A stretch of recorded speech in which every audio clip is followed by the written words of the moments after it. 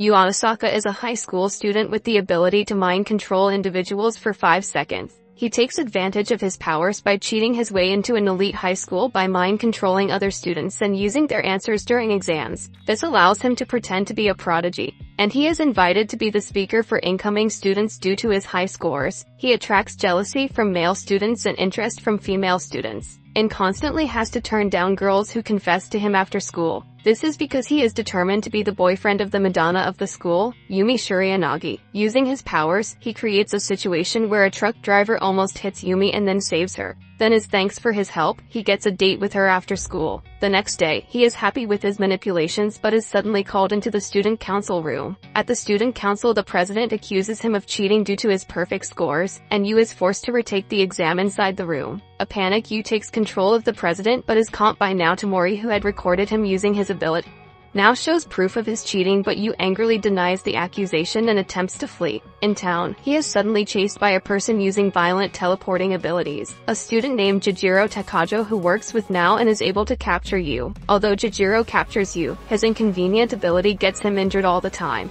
Nao arrives and asks Yu to transfer to their school, the Hoshinami Academy so that he can study with other students with powers like him. Yu tries to fight her, but Nao, who has the ability to be invisible to one person, turns invisible and beats him up. That night Yu returns home to his younger sister Ayumi, who tells him Hoshinami Academy has sent him a big scholarship to attend the school, and she celebrates by cooking for him. The next day Yu meets Yumi, who is thankful to him for saving her, but since he is transferring to a new school, she dumps him. A depressed Yu moves into the academy and is visited by Nao who plays with his sister. Soon it is time for Yu to go to classes for the first time. And on his first day Nao tells him the mission of the academy is to protect students with powers so that outside groups do not take advantage of them. He is horrified to see that he shares a homeroom with Nao and Jijiro. At lunch, since the lunch line is long, Jijiro uses his ability to skip the line but he wrecks the cafeteria in the process. While they eat their sandwiches, Jijiro also tells Yu that although Nao is the student president, she has no female friends, and her personality changed from middle school.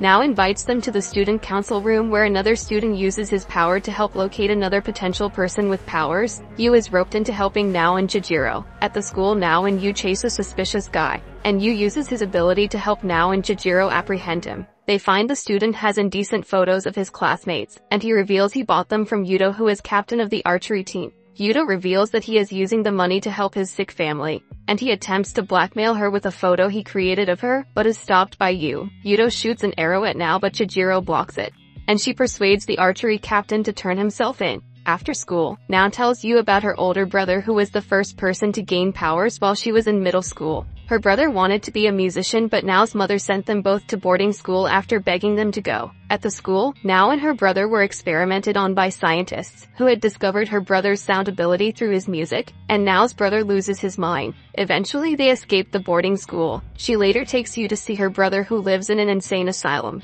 and states that a special person took her to the academy and helped her take care of her brother. After spending time with Nao and her brother, Yu worries about his own sister developing powers. He watches as that night she stargazes again to see a special comet. Later Yu asks Ayumi to stop cooking for him since he can get lunch at the cafeteria, but she insists. And once again Jijiro hurts himself at lunch using his ability. They get a call to report to the student council room, and their new target is a person with two abilities. They investigate in town find out a famous idol named Yusa Nishimori has been in the area. They also catch a man spying on them and after a brief chase manage to capture him. The man is stalking Yusa and the students meet Sho, a friend of Yusa who takes them to the idol. Yusa reveals that she has multiple personality disorder, and after talking with Yusa's friends, they find out that Yusa had an older sister named Misa who had died and is possessing Yusa's body. An angry Misa starts to light the room on fire but calms down. Now tells Misa about her stalker who works for a shady TV producer. They plan a midnight meeting with the producer,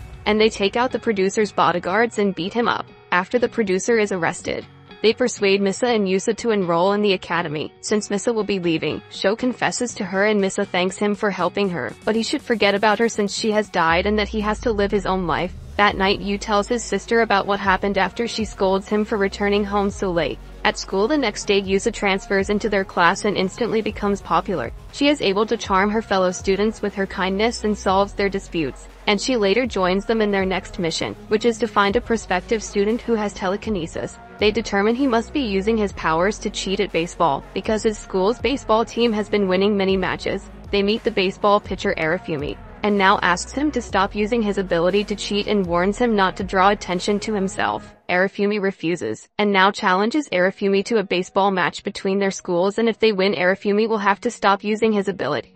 At the match, the group plans to use their abilities to win and Arifumi's team is surprised to see they are playing against girls. The Hoshinami team become angry at Nao's attitude but they are calmed down by Yusa. However, they find that Arifumi's pitching is too strong for their team's batters and soon their team starts to lose. Nao asks Yu to use his powers to help them win, but the enemy school still manages to score one point through the combined efforts of Chijiro, Misei, and now they manage to load the bases and although Yu misses his swing the team barely managed to win against Arifumi. Arifumi agrees to stop using his ability, which he was doing because he wanted his catcher Takato to have a shot at becoming a pro player, and Nao tells him to support his friend by not cheating. The next day Yusa continues to be popular, but Yu notices that a group of girls seem to be bullying and beating up Nao. Yu doesn't help her, and today their target is a person who has been spotted flying in the mountains. To help their investigation they decide to camp in the mountains.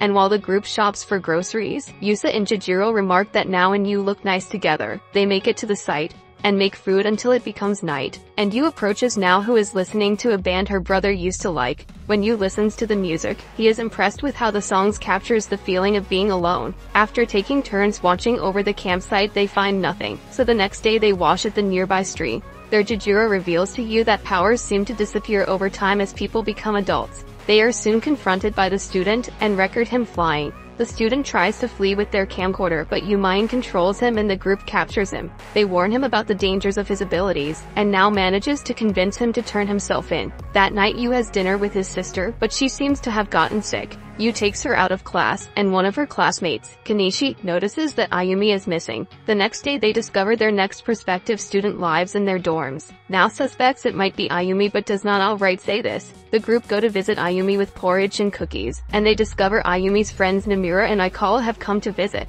Ayumi is shocked to see Yusa because she is a big fan, and they have dinner together. Before Nao leaves she tells Yu to keep an eye on his sister since it is likely that she will develop powers soon. Ayumi also seems to have a bad dream. Yu asks Ayumi to stay at home another day. She decides to sneak out against her brother's wishes. But at school Ayumi runs into Kanishi, who hates Ayumi for allegedly stealing the boy she likes from her and the other girl attacks her. Ayumi runs but is cornered and accidentally uses her new abilities which collapse the building. Yu and the council are nearby and he runs in to find his sister but is knocked out by falling rubble. Yu later wakes up in the hospital and is told that Ayumi died in the collapse. A shocked and depressed Yu stays in his apartment and avoids contact with others. Yusa and Jijiro come to visit and cheer him up but they aren't able to. Yumi arrives to see him and tries to get him to come out of his apartment but he yells at her and tells her to leave. Yu determines that he will be forced to leave his apartment and go back to school, so he decides to run so that the academy can't track him down. He runs from city to city to escape from the others and grows unstable. When he is attacked by gang members, he uses his ability to fight back and his skill over his power starts to increase. One day, Nao reveals herself, having used her power to keep an eye on him the entire time. She apologizes for not acting sooner with Ayumi, and to persuade him to live a normal life she takes him home and feeds him an omelette rice dish like how Ayumi used to make for him. Reluctantly, he agrees to rejoin the academy. Yu returns to school and starts to adjust to life as a student again. Yusa is creating a new music video and has her friends review the footage, and at the student council room, Nao reveals that their mission is to go to a concert together to see the band Jane. After school Yu returns home but runs into a blind woman named Sala who has lunch with him after she hears about the loss of his sister. She reveals that she is actually the vocalist for the band Jane. And since Nao is a big fan of her band Yu asks Nao to meet them but the president turns him down. Yu and Sala continue to eat food and explore and she later tells him about how she became blind by bartering her eyes to God for a more peaceful life after many people resented her for her singing. That night, with Nao's permission, Yu takes Sala to Kazuki so that she can sing to him. The singing seems to calm Kazuki down a little and improve his condition. The day of the concert arrives and Yu prepares to go to the concert with Nao. They enjoy the pre-concert festivities and watch Sala perform with her band Jane. While hearing Sala sing, Yu feels the song is familiar and is filled with memories of living with his sister at a compound together, where he kept his true abilities a secret and is trying to help his older brother who also has a powerful ability. In the compound, he had met the boy Takedo who was the wet boy from the academy, who works with him to free his older brother Shunsuke. In the compound, he is awoken from the building collapsing from his sister's power, and a scientist asks him to use his true ability Plunder to save his sister. He uses his true abilities of being able to not only mind control but take the powers of other users to help free his captured older brother so they can save Ayumi. Yu's original plan was to work with Takedo who can locate powers, and he can take useful powers to help free his family. Knowing he can't beat the compound's forces, Yu frees his brother so that he can use his ability to time leap. Yu suddenly wakes up with Nao, and is uncertain if everything he remembered was a dream. But Takedo arrives and tells him there is still a chance to save Ayumi. When Nao hears that Yu's older brother is Shunsuke, she reveals that he was the mysterious person that recruited her. Takedo takes them to a secret base where they find a crippled Shunsuke who promises to explain everything. It turns out that by freeing Shunsuke, it allowed him to use his ability to time leap into the past before they were captured by the scientists. Using his knowledge of the future, a young Shunsuke recruits his future allies from the future, including Takedo and others who can erase memories and hypnotize others. He explains to Yu that they created a syndicate of superhumans who protected each other but they often lost to the compound's forces. Shunsuke then went back in time and used gambling to make the group rich, but they failed in protecting all the users. Over time Shunsuke continues to leap backwards in time, but he starts to slowly lose his eyesight and in his last time leap he creates the academy. To protect his siblings, he makes them forget his existence. Nao also reveals that the council has been studying Yu, and has found out that whenever he possessed someone they lost their powers as they were stolen by Yu. Shunsuke asks him to steal his powers of time leaping, to go back in time and save Ayumi by taking the ability collapse from her. Yu leaps back in time and is happy to see Ayumi again. He explains the situation to Nao. After taking Ayumi's ability, Yu steps in to save his sister from Kanishi and threatens her to leave Ayumi alone. With Ayumi saved, Takedo introduces himself again and takes them to see Shunsuke who is happy to finally reunite with his sibling. Shunsuke shows them his work at the academy which includes researching a vaccine to cure powers, and that the source of the powers come from the comet Charlotte which passes by Earth occasionally and showers the planet with particles that give people special ability. Yu meets his brother's team and spends time with them, but when Takedo heads home he is kidnapped by his driver who is being blackmailed by terrorists. The terrorists force Takedo to use his powers to locate powerful users then they kidnap several students including Nao. Shunsuke asks Yu to help because he has become the most powerful ability user on Earth. The team sends Yu to fight the terrorists. But an ability user ambushes him and cuts one of his eyes and Yu accidentally uses his powers of collapse. The team rescues Yu, but unfortunately in the collapse Takedo was impaled protecting Nao. Yu wakes up in the hospital looked over by his brother's team, but they reveal that Shunsuke blames him for Takedo's death and is avoiding him. Ayumi arrives to see him but she is worried about Shunsuke's state of mind. Chijiro and Yusa arrive to cheer him up with food and encouragement. And Yu asks Misa where do people go when they die, and she doesn't have an answer. Later when he meets Nao, she informs him that Japan is in conflict with terrorists and countries overseas because of the abilities. Yu wants to stop the cycle of suffering, and Nao suggests that he could try to take all the powers around the world and all future powers. This would prevent conflict, but the cost of taking so many powers would weaken Yu's identity and change the person he is.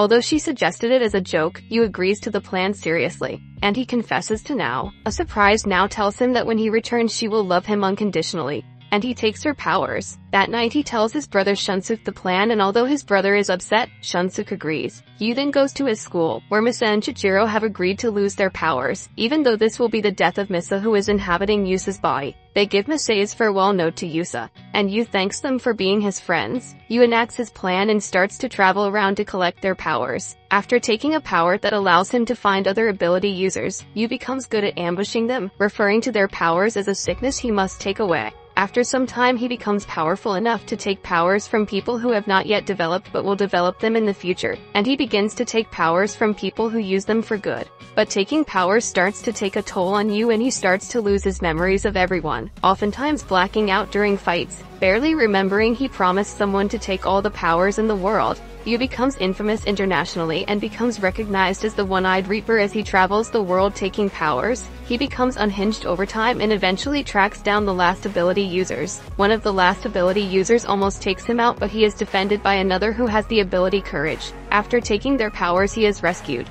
Yu wakes up next to Nao but he has no idea who she is. She explains him his mission and that she is his lover, but he can only remember the note she gave to him before he left on his journey. Although Nao is sad, she is happy to see there is still a little of Yu left. And they look forward to making new memories together in the future.